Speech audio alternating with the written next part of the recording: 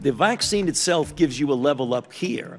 So, how long it takes to start coming back down, we're following it. And two ways of understanding that. One, does from a lab standpoint it get below a certain level, or do we start seeing a lot more breakthrough infections? Either of those would be a trigger, but we're following that very carefully. I believe we will need a booster. I'm not exactly sure when.